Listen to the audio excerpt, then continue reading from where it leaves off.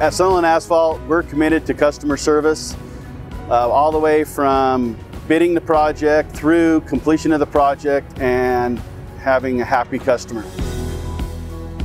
Today we're going to focus on paving the parking lot back. Tonight we'll stripe it and we'll open it back up to them tomorrow and they'll have a successfully completed parking lot to last them many years.